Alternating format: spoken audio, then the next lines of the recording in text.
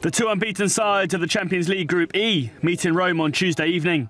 Bayern Munich are the visitors to the Stadio Olimpico to face Roma. The Italians lie in second in Serie A and also in Group E. Pep Guardiola's side head into the match two points clear of Roma, who have a win and a draw from their first two outings in the campaign. 38-year-old Francesco Totti shows no signs of slowing up. The club captain became the oldest scorer in the Champions League 22-year history in the last round of fixtures when he netted the equaliser against Manchester City three days after his 38th birthday. The Italians are likely to be without Seydou Keita, who missed the win over Chievo after picking up a calf muscle injury while on international duty with Mali.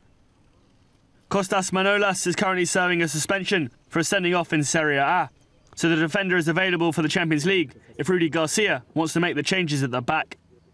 These two clubs previously met in the 2010-11 Champions League groups, with both sides winning their respective home matches.